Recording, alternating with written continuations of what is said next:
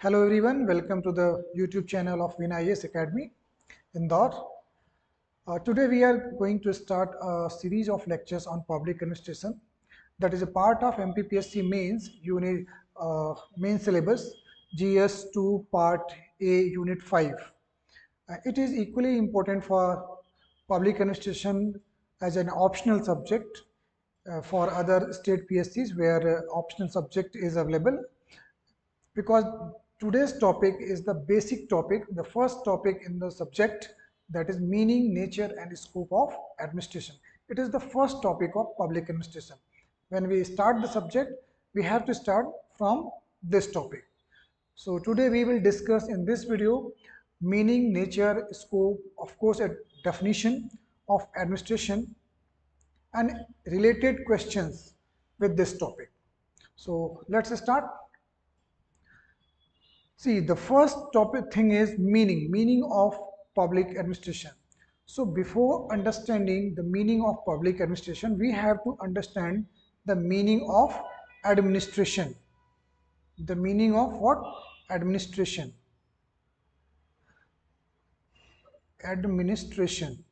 We have to understand the meaning of administration. See, here the, it is used in two senses. One meaning is literal meaning and second is called general meaning. एक शाब्दिक अर्थ है और दूसरा एक जिसको हम बोलते हैं सामान्य अर्थ या सामान्य भावार्थ जिसको कहा जाता है हिंदी में। जब लिटरल मीनिंग की हम लोग बात करते हैं तो this term administration has been derive from two Latin words ad and ministrare इसका मतलब होता है इट मीन्स टू सर्व और टू मैनेज और टू लुक आफ्टर ख्याल रखना, ध्यान रखना सर्विसेज़ देना, सेवा करना, प्रबंधन करना। It is a broader term इसके, ये बहुत बड़ा कंसेप्ट है। इसके अंदर ही पब्लिक एडमिनिस्ट्रेशन प्राइवेट एडमिनिस्ट्रेशन जैसे कंसेप्ट हैं। हमारा जो मेन सब्जेक्ट है, वो पब्लिक एडमिनिस्ट्रेशन है। लेकिन उसको समझने के लिए एडमिनिस्ट्रेशन को समझ में ना आना चाहिए।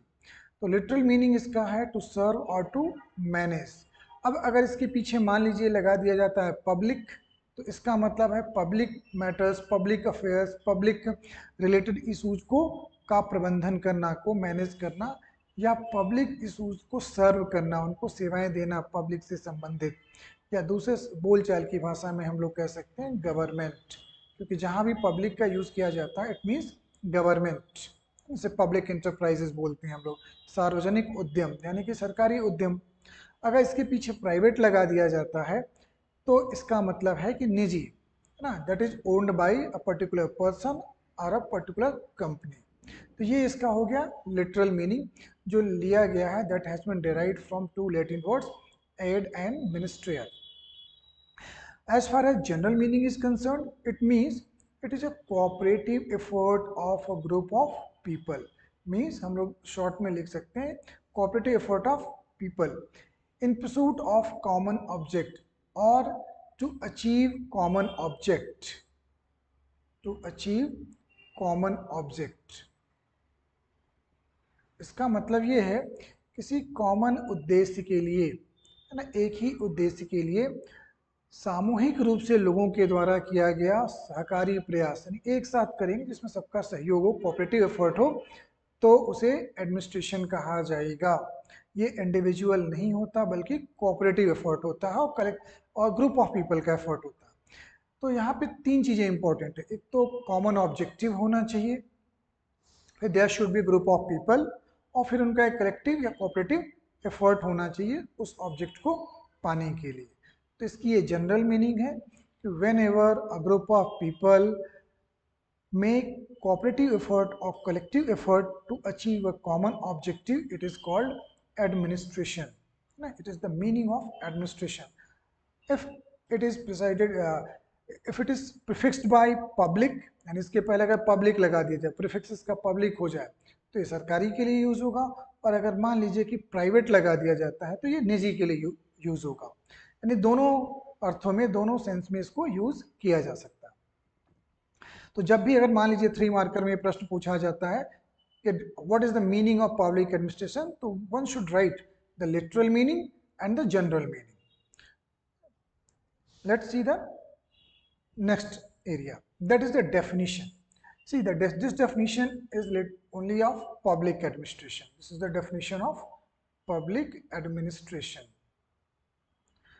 Later on in, in, a, in a next lecture or uh, other lecture we will discuss difference between public and private administration and similarities between public and private administration. Here we are discussing the definition of public administration so many scholars have given their own definitions. I have taken the four more important. One is from Woodrow Wilson, second is from L.D. White, third is from Herbert Simon, and fourth is Ian Gladden. Woodrow Wilson is important because he is known as a father of father of public administration, PubAd, जिसको हम short में बोलते हैं. Why he is known as father of public administration? See, before 1887, before 1887 public administration existed in the form of activity not in the form of subject. यानी 1887 से पहले public administration एक subject के रूप में एग्जिस्ट नहीं करता था बल्कि एक एक्टिविटी के रूप में था।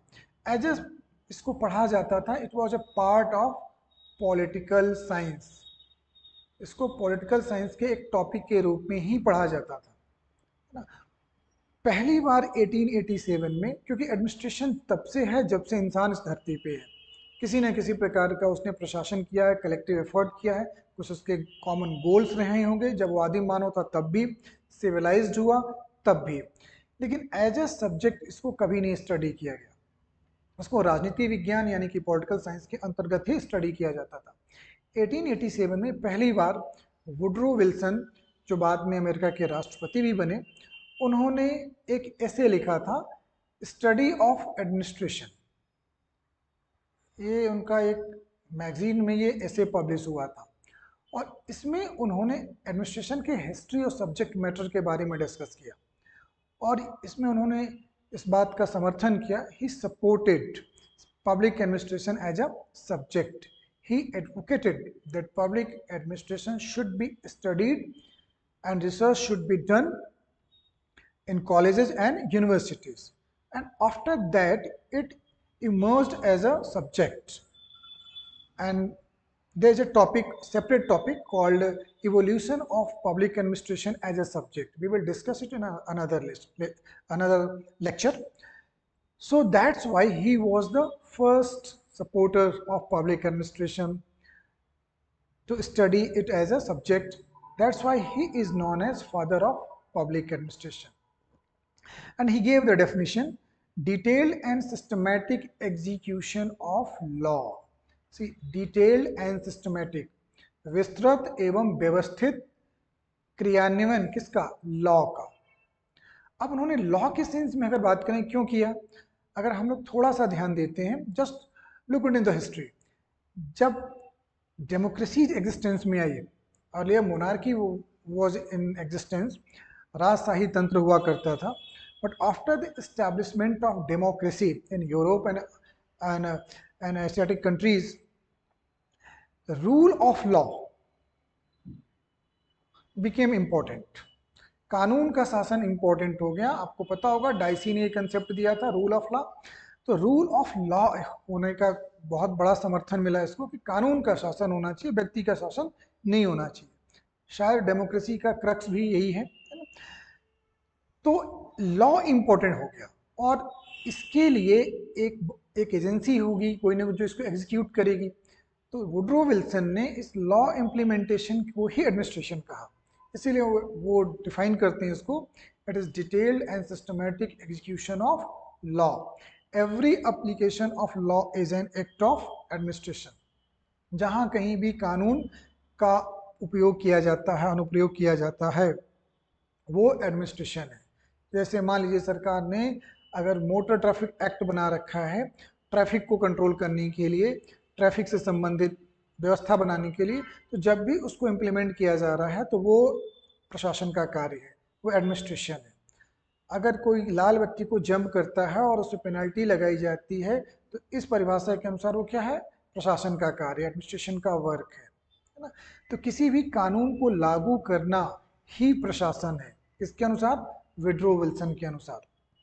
चाहे वो छोटा सा काम ही क्यों ना हो, अगर वो कानून लागू किया जा रहा है तो वो एडमिनिस्ट्रेशन माना जाएगा। एल डी वाइट ने डेफिनेशन दिया all those operations having for their purpose the fulfilment और enforcement of public policy see what is the meaning of policy policy means policy का मतलब होता है broader guidelines what it means broader broader guidelines दिशा निर्देश बड़े दिशा निर्देश see the government है सम ऑब्जेक्टिव तो उसको पूरा करने के लिए किस प्रकार से पूरा किया जाएगा? कुछ गाइडलाइंस दिए जाते हैं।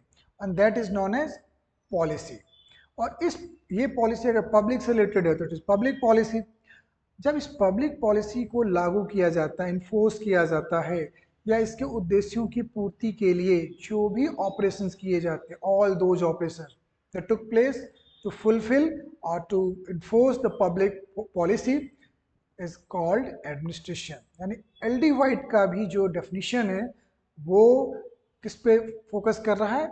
एग्जीक्यूटिव ब्रांच पे, क्योंकि एनफोर्समेंट किसका काम है? एग्जीक्यूटिव ब्रांच का काम है है ना? Enforcement of public policy government के एग्जीक्यूटिव ब्रांच का काम है। आपको पता होगा कि गवर्नमेंट की तीन ब्रांचेज होती हैं, है ना? पहली ब्रांच ब्रांच कहलाती है लेजिस्लेचर दूसरी एग्जीक्यूटिव और तीसरी जुडिशरी तो एग्जीक्यूटिव ब्रांच का का, काम होता है कि वो गवर्नमेंट पॉलिसीज़ को लॉज को इम्प्लीमेंट करे। तो अगेन एल डी वाइट का जो डेफिनेशन भी किससे रिलेटेड है? एग्जीक्यूटिव ब्रांच से। इनका भी एग्जीक्यूटिव ब्रांच क्योंकि लॉ को इम्प्लीमेंट करने का का काम किसका है? एग्जीक्यूटिव ब्रांच का। साइमन साइमन हर्बर्ट साइमन कहते हैं activities of executive branches of national and local government मतलब वही बातें साइमन ने भी कही हैं कि लोकल और राष्ट्रीय सरकारों की जो एग्जीक्यूटिव ब्रांच है, कार्यपालिका है, उसके प्रत्येक कार्य को ही एडमिनिस्ट्रेशन कहा जाएगा। और ईएन ग्लैडन कहते हैं कि concern with the administration of government public administration का जो संबंध है, वो सरकार के प्रशासन से सरकार जो भी प्रशासन करती है और प्रशासन का मीनिंग हम लोगों ने पढ़ा है जस्ट कि इट मीन्स टू सर्व और टू मैनेज है ना? और to look after look after affairs affairs का मतलब यहाँ पे मैटर या इशूज और कुछ नहीं। तो गवर्नमेंट का जो सेवाएँ हैं गवर्नमेंट का जो प्रबंधन है या गवर्नमेंट जिन मुद्दों की देखभाल करती है उसी को पब्लिक एडमिनिस्ट्रेशन कहेंगे। पब्लिक एडमिनिस्ट्रेशन का संबंध उसी बात से है।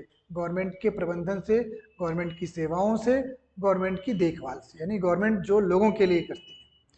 तो ये चार डेफिनेशन हैं। अगर चारों की हम बात करें तो it is mainly concern with executive branch of government branch of government Next topic is nature of public administration See, there are two views regarding the nature of public administration. One is known as integral view and another is called managerial view. Integral view is also known as wider view. By what name? Wider view. And managerial view is called narrow view. संकीर्ण विचारधारा managerial view ये कहता है, ये मानता है कि public administration के अंतर्गत या एडमिनिस्ट्रेशन के अंतर्गत वे सभी कार्यकलाप नहीं आएँगे जो किए जाते हैं, बल्कि केवल क्या आएँगी? Managerial activities it encompasses only managerial activities and not the technical clerical and manual activities technical नहीं आएगी क्लरिकल नहीं आएगी मैनुअल नहीं आएगी. जैसे मान लीजिए एक हॉस्पिटल है या कॉलेज कॉलेज है या यूनिवर्सिटी है। अब यहाँ जो लोग मैनेजमेंट देखते हैं केवल वही लोग एडमिनिस्ट्रेशन उन्हीं के कार्यों का अध्ययन एडमिनिस्ट्रेशन में किया जाना चाहिए अकॉर्डिंग टू मैनेजरियल व्यू है ना? कॉलेज में जो लोग केवल मैनेजमेंट देखते हैं उन्हीं का, का काम स्टडी किया जाना चाहिए उनके कार्यों को ही एडमिनिस्ट्रेशन समझा जाना चाहिए ये कहता है मैनेजरियल व्यू बाकी जो टेक्निकल वर्क है जैसे टेक्नीसियंस होते हैं हॉस्पिटल में है ना? अदर सपोर्टिंग स्टाफ होता है, उनके कार्यों को एडमिनिस्ट्रेशन में काउंट नहीं किया जाएगा अकॉर्डिंग टू मैनेजरियल वे और इसके जो सपोर्टर्स हैं, इसके जो एक्सपोनेंट्स हैं, उनमें से एक है लुथेर गुलिक और एक हर्बर्ट साइमन भी है। ठीक, इसी तरह जो इंटीग्रल व्यू है, ये कहता है कि नहीं एडमिनिस्ट्रेशन के अंतर्गत सभी कार्यों को इंक्लूड किया जाएगा जो कॉमन ऑब्जेक्टिव को पूरा करने के लिए किए जाते हैं। चाहे वो मैनुअल वर्क हो, चाहे वो ऑफ़िस बॉय से लेकर के कंपनी या फिर डिपार्टमेंट का हेड ही क्यों ना हो। उन सभी के कार्यों को स्टडी किया जाना चाहिए एडमिनिस्ट्रेशन के अंतर्गत। It encompasses all the activities undertaken to achieve the objectives and इसके जो सपोर्टर्स हैं, वो हैं L D White and Dimock अब इन दोनों व्यूज़ के बीच एक कॉन्ट्राडिक्शन है और इस कॉन्ट्राडिक्शन को दूर करने के लिए Marshall Dimock, Geo Dimock and L W Koenig, ये तीन स्कॉलर्स हैं।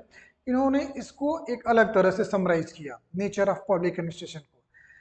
They summarise it in three points as a study as a process as a vocation अध्ययन के रूप में, यानी कि एक विषय के रूप में, एक प्रक्रिया के रूप में, और एक रोज़गार के रूप में वोकेशन रोज़गार।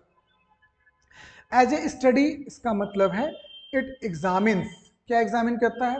Every aspect of government's effort to discharge the laws and give effect to public policy यानी ये इनका मानना है कि स्टडी के रूप में पब्लिक एडमिनिस्ट्रेशन एग्जामिन करता है, परीक्षण करता है सरकार के एफर्ट्स का। किस, कौन से एफर्ट्स का? जो पब्लिक पॉलिसी और लॉज को लागू करने के लिए किए जाते हैं।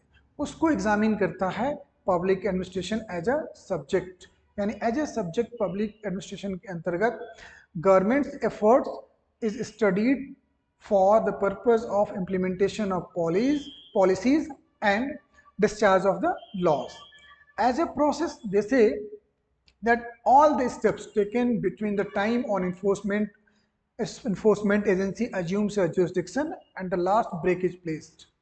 कहने का मतलब ये प्रक्रिया के तौर पर जब कोई काम किसी एजेंसी को मिलता है, तब से लेकर के जब तक अंतिम जो उसका गोल है, वो पूरा नहीं हो जाता जो जो प्रक्रिया की जाती है जो जो स्टेप्स लिए जाते हैं, वो सब का सब पब्लिक एडमिनिस्ट्रेशन फॉर एग्ज़ाम्पल जैसे अगर हम बात करें हॉस्पिटल की ले लेते हैं ना? जब कोई पेशेंट आता है तो वो हॉस्पिटल का काम है उसको सर्व करना, उसके हेल्थ को बिल्कुल ठीक करना, है ना? तो हॉस्पिटल की रिस्पॉन्सिबिलिटी वहाँ से काम चालू हो जाता है एडमिनिस्ट्रेशन हॉस्पिटल एडमिनिस्ट्रेशन का काम चालू होता है और उनका काम है कि वो जो जो भी करेंगे उस पेशेंट को ठीक करने के लिए फॉर्मेलिटीज से ले करके डिस्चार्ज तक that all steps come under the public administration as a process बहुत सारी होती हैं डायग्नोसिस होगा, बहुत सारी जांचें होती हैं, है ना? डॉक्टर आके विज़िट करते हैं। तो ये सारे काम जो हैं एज अ जितने भी किए जाएँगे, उसके हॉस्पिटल में आने से लेकर डिस्चार्ज होने तक के जो जो स्टेप जो जो वर्क वहाँ किया जाएगा, वो सब का सब एज अ प्रोसेस एडमिनिस्ट्रेशन का पार्ट होगा। And as a vocation as रोज़गार के तौर पे क्या है ये? Organising and directing the activities of others in a public agency किसी भी पब्लिक एजेंसी में, मान लीजिए कि वो एजुकेशन डिपार्टमेंट है या स्कूल, कॉलेज ले लेते हैं ना? एक कॉलेज है, ठीक है? वहाँ पे आपको ऑर्गेनाइज करना है है ना? और डायरेक्ट करना है, यानी कि इंस्ट्रक्ट करना है। किस लिए? जो उसका गोल है उसको पूरा करने के लिए। कॉलेज का गोल क्या होता है? स्टूडेंट को एजुकेशन प्रोवाइड करना। तो इसके लिए जो जो भी काम किया जाता है, यानी कि स्टाफ रिक्रूट करना, उनको ट्रेन करना, उनको इंस्ट्रक्ट करना कि आपको क्या कब लेक्चर्स लेने हैं, है ना? ये सारा का सारा as a vocation public administration का पार्ट होगा। यानी organising and directing as a vocation काम के तौर पे। जैसे अगर हम हॉस्पिटल का भी एग्जांपल ले लें तो जो यहाँ का एडमिनिस्ट्रेशन होगा, वो डायरेक्ट करेगा कि डॉक्टर कब किस डॉक्टर की ड्यूटी होगी, कब कब कौन किस मरीज़ को देखेगा, कब कौन से उसके जाँच की जाएगी। ये सारे जो ऑर्गेनाइजिंग और डायरेक्टिंग वाला जो पार्ट है इंस्ट्रक्शंस वाले जो पार्ट है ये as a vocation part of public administration है तो जब भी नेचर ऑफ़ पब्लिक एडमिनिस्ट्रेशन पूछा जाए तो view one has to write this integral view managerial view as well as how it has been summarised as a study as a process as a vocation so this will give you good marks So next topic is scope. It is also a very important scope. कहते हैं ना कि इसका scope क्या है? यानी administration कहाँ तक इसका विस्तार है? हिंदी में इसको विस्तार कहा जाता है। इसका क्षेत्र क्या है? कहाँ तक ये फैला हुआ है?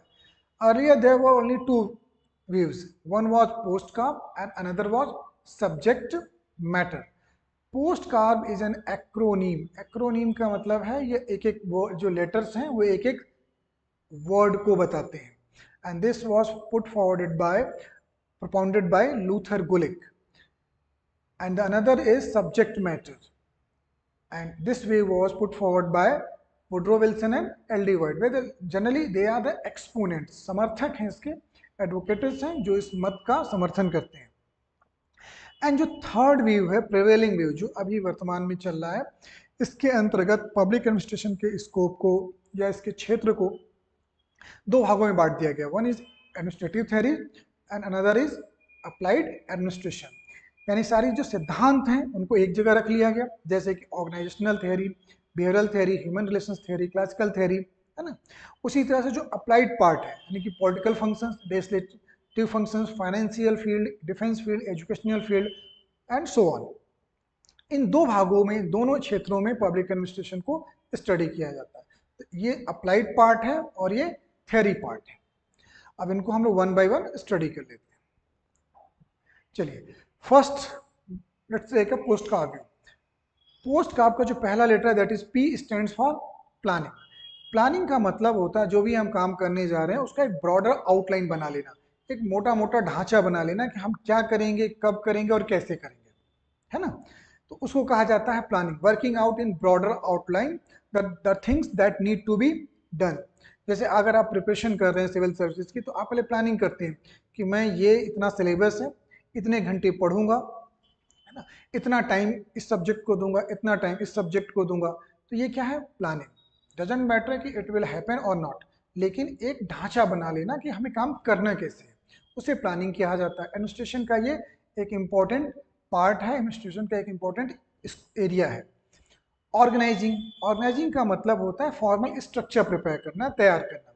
जैसे मान लीजिए गवर्नमेंट अगर अगर अगर कोई कॉलेज स्टैब्लिश करती है या कोई डिपार्टमेंट बनाती है, या कोई भी अगर इंस्टीट्यूशन खड़ा होता है तो एक ढांचा बनाया जाता है। अभी कॉलेज होगा तो कोई इसका डायरेक्टर बनाया जाएगा, कोई इसका डीन बनाया जाएगा एकेडमिक डीन है ना? कुछ प्रोफेसर रखे जाएँगे, है ना? फिर इसका टेक्निकल स्टाफ होगा। तो ये एक ढांचा क्रिएट किया जाएगा कि क्या कॉलेज का ढांचा होना चाहिए। और फिर उसके लिए क्या की जाएगी? स्टाफिंग की जाएगी। यानी recruitment of suitable people and training them to perform to achieve the objective of the organisation फिर उनको डायरेक्ट करना। लगातार डिसीजंस लेना, जो टॉप मैनेजमेंट होता है जनरली ये काम जो होता है वो टॉप मैनेजमेंट ही करता है, जिनके हाथ में अथॉरिटीज होती है। कोई भी मिडिल लेवल पे भी हो सकता है, लेकिन अथॉरिटी होनी चाहिए। डिसीजंस लेना और उनको ऑर्डर्स के फॉर्म में इंस्ट्रक्शंस के फॉर्म में अपने सबॉर्डिनेट्स को देना, जारी करना इशू करना, ताकि वो काम को करें और जो गोल ऑफ़ ऑर्गेनाइजेशन है उसको अचीव किया जा सके।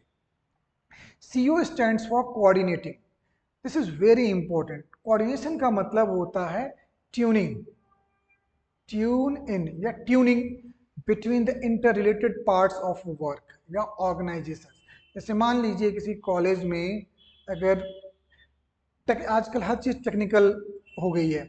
अगर मान लीजिए कि वहाँ के कंप्यूटर्स ख़राब हो जाएँ और ऑनलाइन एग्ज़ाम होने थे। तो बिना टेक्निकल टीम के के सपोर्ट के क्या कॉलेज एग्ज़ाम कंडक्ट करा पाएगा? नहीं करा पाएगा। बिल्कुल सीधी सी बात है। तो कॉलेज एडमिनिस्ट्रेशन और टेक्निकल टीम के बीच एक क्या होना चाहिए? ट्यूनिंग होनी चाहिए। कोऑर्डिनेशन होना चाहिए। कि कब कितने बजे पेपर स्टार्ट होगा कितने टाइम पे क्या क्या काम होगा। तो जितने भी ऑर्गेनाइजेशन होते हैं, उसमें कोऑर्डिनेशन जो होता है, बहुत इंपॉर्टेंट होता है, क्योंकि अलग अलग डिपार्टमेंट्स होते हैं, अलग अलग काम के भाग होते हैं। और उनके बीच समन्वय, जिसको हिंदी में बोलते हैं, होना बहुत ज़रूरी है। ट्यून इन होना।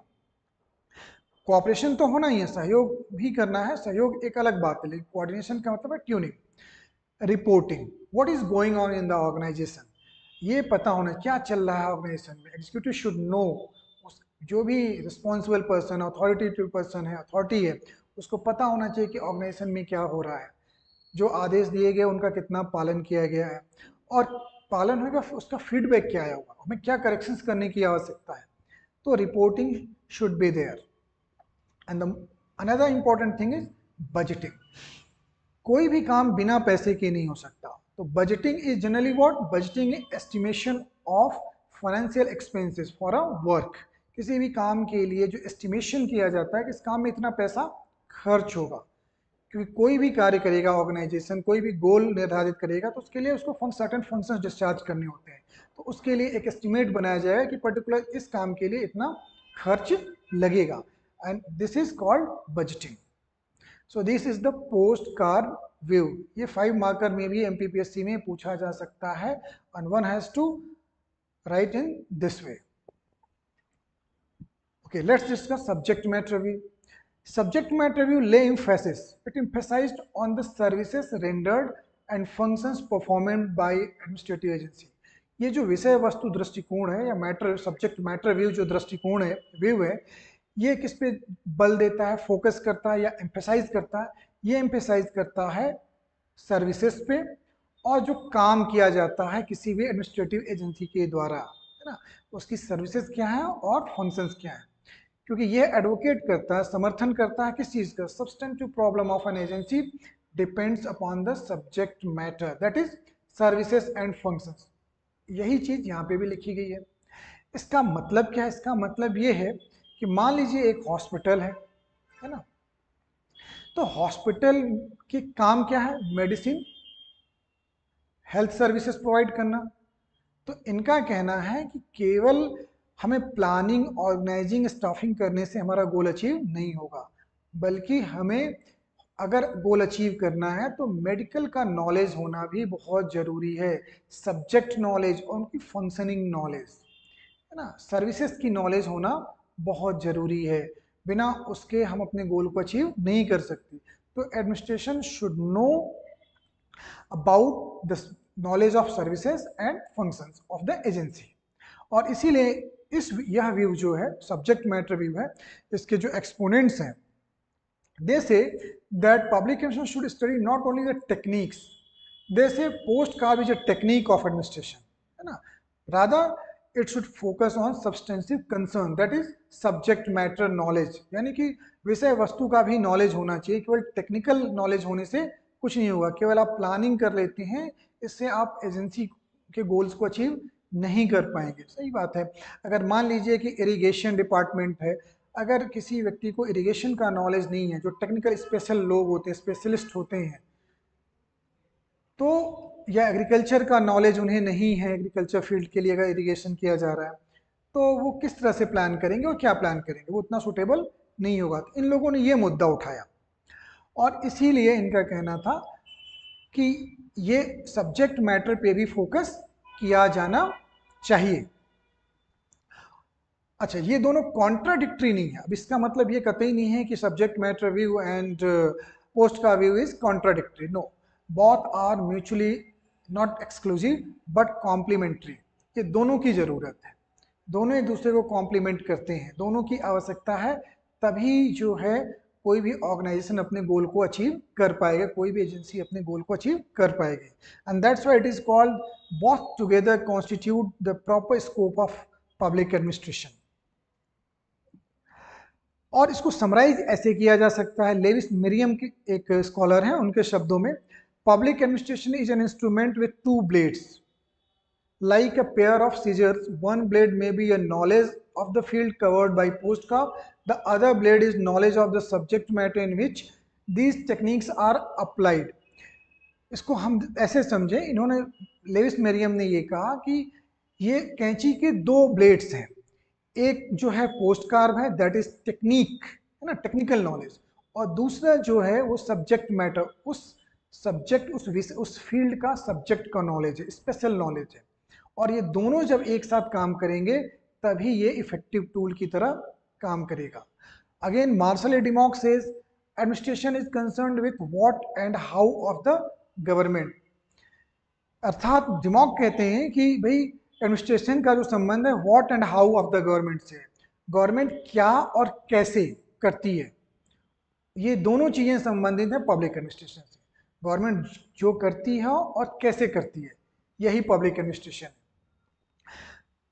Remember these two statements these two statements can be asked in the form of questions suppose it is asked in 11 marker public administration is an instrument with two blades like a pair of scissors one blade may be a knowledge वो यहीं तक देंगे आपको and explain it है ना तो आपको पूरा स्टेटमेंट लिखना है and discuss both views and their emphasis then conclude it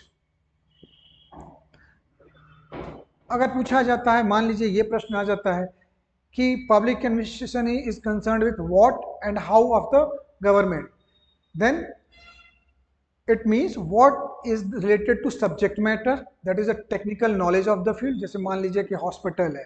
तो हॉस्पिटल है तो यहाँ आपको मेडिकल का नॉलेज होना चाहिए है ना? मेडिसिन का नॉलेज होना चाहिए। मेडिकल uh, इंस्ट्रूमेंट्स जो होते हैं उनका नॉलेज के बारे में पता होना चाहिए है ना? और इसके साथ साथ ही कैसे उसको इम्प्लीमेंट किया जाएगा? Technique of management that is POSDCORB POSDCORB पता होना चाहिए। प्लानिंग हो प्रॉपर है ना? ऑर्गेनाइज किया जाए उसको स्टाफिंग हो, है ना? डायरेक्टिंग हो प्रॉपर कोऑर्डिनेशन हो बस्टिंग हो रिपोर्टिंग हो, ये दोनों मिल करके ही प्रॉपर पब्लिक एडमिनिस्ट्रेशन का स्कोप निर्धारित करते हैं। इसीलिए कहा गया each is indispensable together they form the synthesis that is known as administration तो in this way this question can be solve okay let's see the important question how this top question can be asked from this topic suppose if it is asked clerk are babu is considered as the king pin of Indian administration अर्थात clerk या बाबू को भारतीय प्रशासन का महत्वपूर्ण घटक माना जाता है किंग पिन माना जाता है। इसका मतलब ये है कि क्लर्क बहुत इंपॉर्टेंट है। अब इसको कैसे लिखेंगे? इसको लिखने के लिए आपको वाइडर व्यू को यूज़ करना होगा। In a developing country like India where every part of organization is important for the achievement of target or goal of the organization. तो उस सेंस में अगर हम लोग देखें तो बाबू से लेकर के जो हाईएस्ट अथॉरिटी है वहाँ तक सारे के, सभी के कामों को स्टडी किया जाता है और इम्पोर्टेंट हो। इंडिया के ज़्यादातर सभी ऑफ़िस में जो किसी भी काम की शुरुआत होती है, अगर हम प्रोसेस की बात करें तो कहाँ होगी? कहीं भी आप फॉर्म सबमिट करने जाओगे तो किसको करोगे? बाबू को, या क्लर्क को। किसी भी ऑफ़िस में, अगर गवर्नमेंट ऑफ़िस में आप जाएँगे तो आप अपना अप्लीकेशन क्लर्क को ही सबमिट करते हैं। फिर वो उसको आगे फॉरवर्ड करेंगे कंसर्न अथॉरिटीज के पास। इसीलिए तो in this way you have to start your answer then critically analyse the POSDCORB view of scope of public administration तो पहले पोस्ट का व्यू को बताना है और उसके बाद इसमें क्या क्या कमियाँ थी, वो बता देना आपको Then every particular application of law is an act of administration. Explain. This is a statement given by Woodrow Wilson. और उन्होंने कब दिया था ये 1887 में जब उन्होंने इसको डिफाइन किया।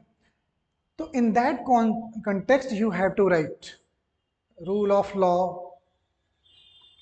and how executive branch is executive branch is important in execution of law तो इस तरह से आपको इसका इसका आंसर बनाना है। Explain the meaning of administration you have to write in two way literal meaning and general meaning discuss the nature of public administration आपको वाइडर और नैरोवर दोनों व्यू लिखने यानी कि managerial view and integral view integral view ठीक? तो इस तरह से आप लोग इसको चाहें तो घर पे इस, इस टॉपिक से रिलेटेड ये क्वेश्चंस हैं जिनको घर पे लिखने का प्रयास करिए। If you want me to check your copies you can send your answers at my Telegram number double nine eight double one seven three double two six अगर आप चाहते हैं कि आपकी कॉपी चेक की जाए इन क्वेश्चंस को तो आप लिख करके इस नंबर पे टेलीग्राम कर दीजिए। आपको चेक करके आपका फीडबैक बता दिया जाएगा। जो भी आपके ड्रॉबैक्स होंगे, जो करेक्शंस होंगे, वो आपको बता दिए जाएँगे। Thank you that's all for today in next lecture we will start the another topic